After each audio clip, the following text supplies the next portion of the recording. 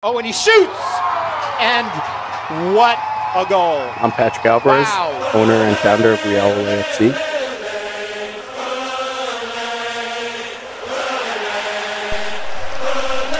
Hey guys, so on this podcast we have Everett Patterson here, uh, father of Everett Patterson Jr. the third. Uh, he's our 2008 boys goalkeeper. Uh, so yeah, we uh, brought in Everett today, go over the history of where his son started with the club and where he is now, and kind of give it a parent perspective and fully organic, so that way those that are listening or whoever um, kind of sees uh, the perspective from a player that came from a different club and where he is now with our club. So uh, we got Everett here. Hello, Everett. Hey, Pat, thanks for having me. No problem. Yeah. Uh, so Everett, so talk to me about uh, why you chose Real oLé FC for your, your son. Yeah, so actually kind of stumbled upon uh, the club here. Uh, my son was playing for another uh, premier team in Dutchess County, and you know what what occurred was as we were going to other tournaments and I was watching the level of play from the other teams, it just seemed as if you know my son and, and those other kids were just behind. Um, I'm not really that familiar with the sport of soccer, but you know, as a former football player, and I played up through the collegiate level, you know, I know athletes in competition, and he just seemed outmatched. So one day I started looking online for private training uh, in the Hudson Valley, and I stumbled upon uh, Pat's Club. A wild encounter. So I, I I remember as if it was yesterday. It was a Thursday in particular uh, in the wintertime. Had to be, I think it was probably the week after Thanksgiving. And I called Pat one night and said, Hey, I'm looking for private training for my son, plays for another uh, premier team in, in, uh, in Dutchess County. And Pat said, Hey, I'm running a training for my 08s in Carmel. Just bring him by so I can evaluate him. So brought him by that night, and uh, from there, the rest is history. His his soccer IQ, um, night and day difference. You know, he seems more plugged into the game, uh, more situational and, and, and field awareness.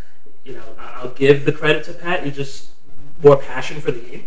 I, I did not see that previously. Attention to detail. You know, working on the on the little things. You know what what Trey looked like. It was three, four years ago to you know what he's able to do in the field now today is, is the, the transformation is mind blowing, and, and only those that were there on day one will really have a, a true appreciation on the quantum leap that he has, has taken from a, a technical ability, and in addition to just his overall athleticism. So what I, what I would say is there there are, if I had to point to three key areas where I've seen uh, tremendous development. I'll I'll first start with his athletic ability. So on, on day one, uh, you know, maybe it was baby fat, we'll call it whatever it was, but you know, Trey could barely, you know, jog 20 yards uh, and was overweight. You know, fast forward to today, you know, out of 20, 22 kids, he's probably in the top five for fastest kids on the team. So And he's a goalie. and he's a goalkeeper.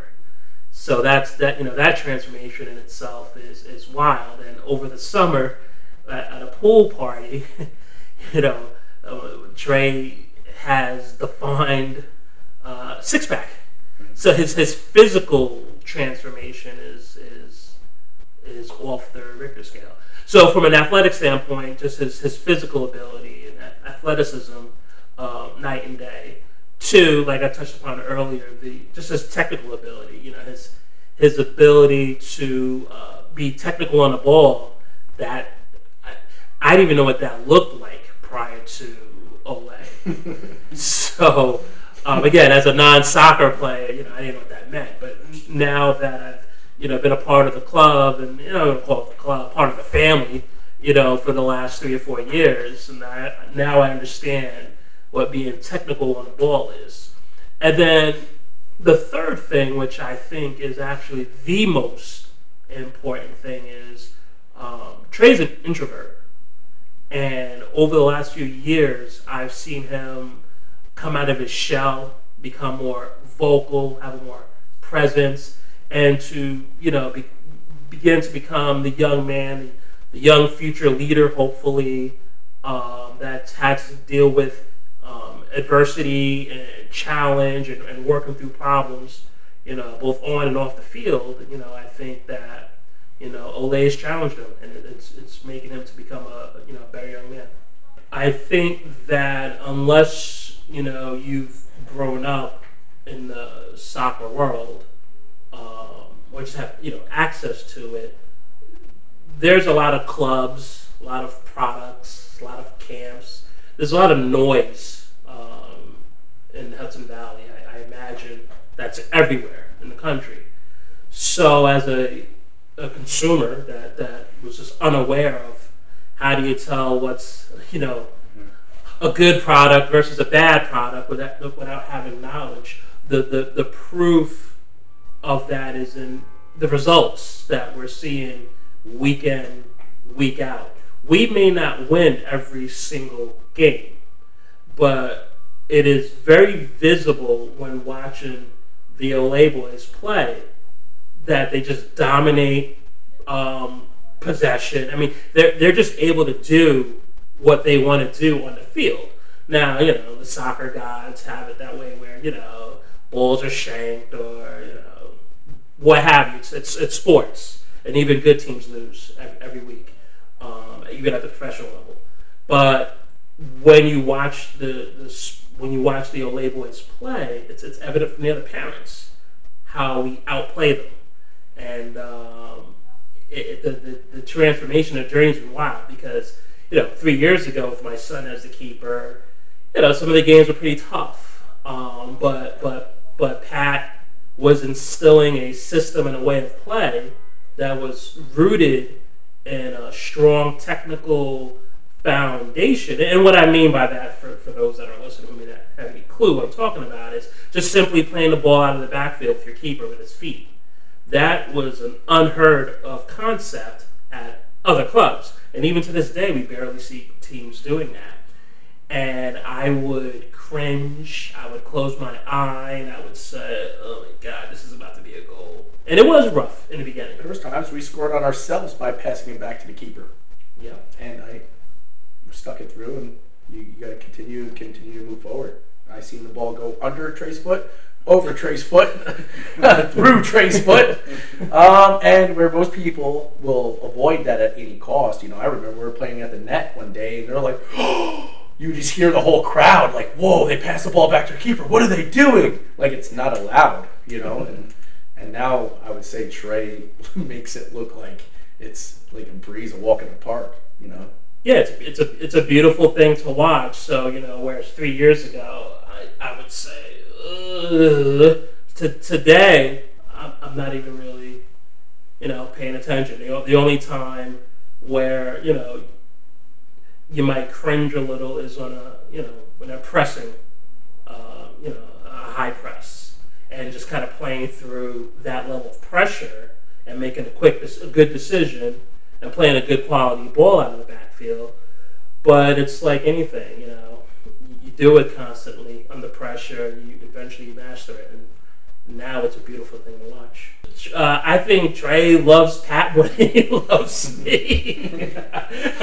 I mean, this he's he's committed. This is this is his family, and, and again, that's why early I said you know I don't want to use. I mean, yes, it's a club, but uh, you know these boys view themselves as a family, Pat included. I mean, he's they're up late at night playing FIFA and you know chatting and talking, and there's a there's a relationship and a bond both on the field, and it starts with Pat um, that carries off the field, and that's a that's a pretty cool thing. That's something that the boys will have, um, you know, for the rest of their lives. I mean, these are the memories and the moments that you know they're gonna look back on in 20 30 years, and and and hopefully it'll be pretty cool for Trey and, and all the other boys to come back, you know, 10, 15, 20 years from now and help out the little ones and say, hey, I was part of the founding teams of oLé. So I- you know, I think it's it's the beginning of something pretty special. It's pretty cool. You know, we're this program is still pretty young,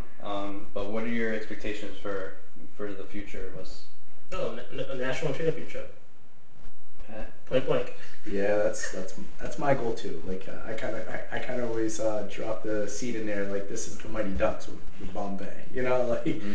uh, bunch of misfits, as lack for better terms. You know, um, and turning them into quality ballers and and uh, accomplishing great things together. Uh, it's like Everett said, it's it's really unique uh, how we are off the field, like you know, and the way we are on the field.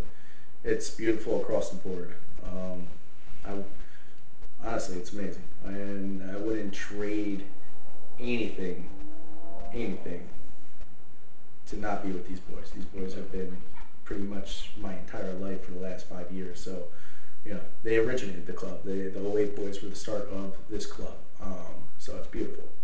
So that that Thursday night in that November four years ago, within one hour of watching the the practice, I knew this is where Trey needed to be, and and, and the reason for that was, um, Pat had the 08s, the 09s, the 07s, 05s, 06s.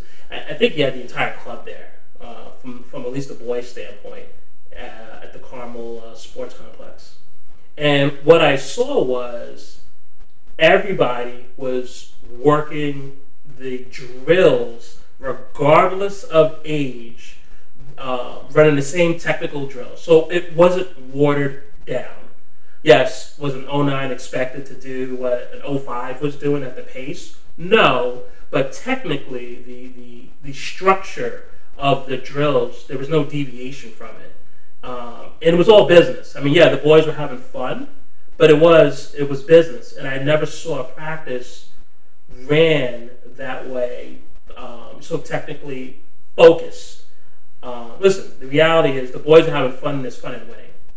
But they're also here to learn how to play the sport and, and to play it the right way um, so that they can become the best versions of, of themselves.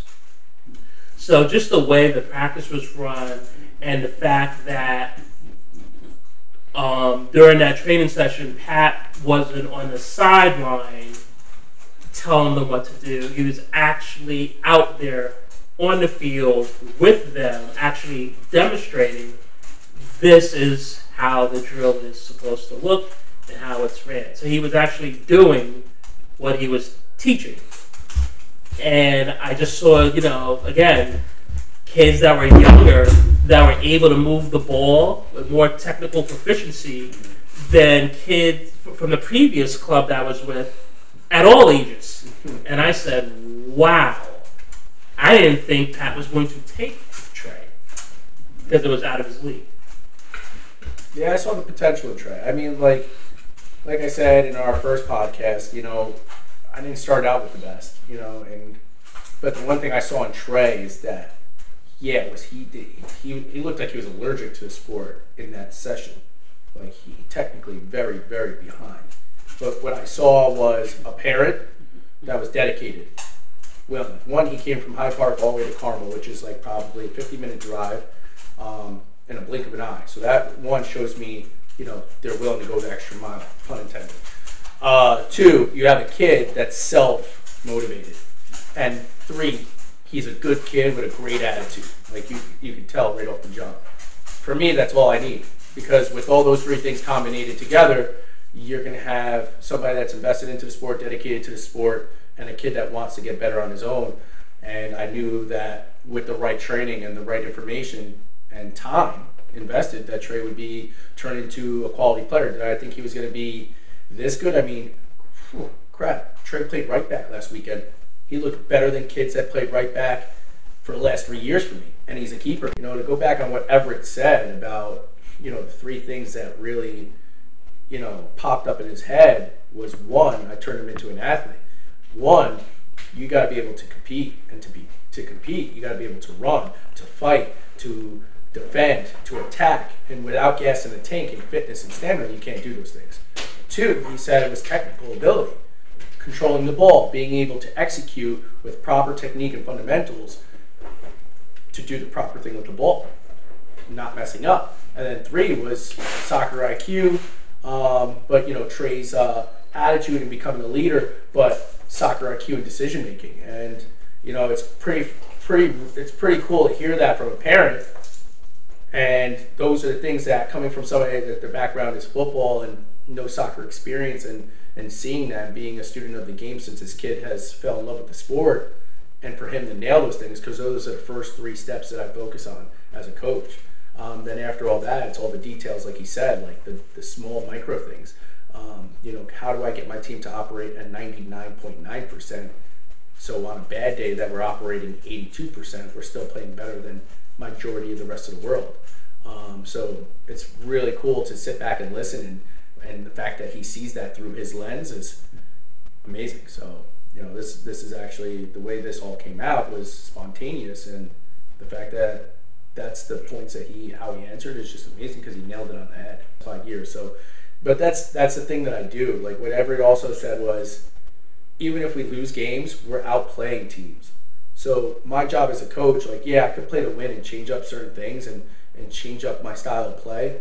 Like I like to say, is like I live and die by my sword. So you know, my job is to develop players and to make them better. So when these kids are done with me, and what I mean by done with me, when they graduate from the club, these kids can then go into other teams and be polished players in, in their respective position. You know, I could do certain tactics and certain ideas and execute certain things that could probably raise our chances of scoring or bypass the midfield or, you know, do these other things and but I'm not teaching the kids anything. So if we do lose a game one nothing, but we outpossessed it, we built out the back end, you know, we're learning, we're getting better, we're practicing our trade, and we're polishing it and sharpening our blade game after game. And it will come a time where Everett then said something that made me laugh is a national championship. We will master what we do and we will perfect it. Where then when we do meet so, match up with those opponents, because truth be told, I don't have the best athletes in the world. I have a great group of kids that believe in me and my philosophy, and parents behind them that, are, that push them and, and follow my guidance and believe in me as well. With kids with a quality soccer IQ, uh, IQ, and I'm developing them and teaching them a philosophy and style of play that I learned in Europe to master the game and control the game and to control the outcome. I want to thank Everett for coming by. Thank you, brother. Thank you, sir, for having me. Um, JP, thank you, man. And uh, that's the podcast with a parent perspective. See you guys next week.